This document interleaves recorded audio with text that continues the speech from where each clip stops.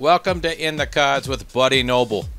Let's talk about a card that kind of changed the face of basketball the David Robinson Hoops card. The NBA and the San Antonio Spurs had to wait a couple of years to get David Robinson in an NBA game. But when the basketball card set NBA Hoops was introduced, there are two cards you had to have, and both of them were actually David Robinson. One showed him holding up a jersey, and one showed him in game action. The series was full of a lot of great future Hall of Famers. The pictures were great. Uh, NBA hoops kind of went away a few years later. Uh, you know, it doesn't have the allure of some of those early Fleer collections and some of those early Star cards. But for a couple of years there, this was the series you wanted, and these are the cards you had to have. There wasn't a collector at the time who wasn't buying up packages of these cards looking for the Admiral.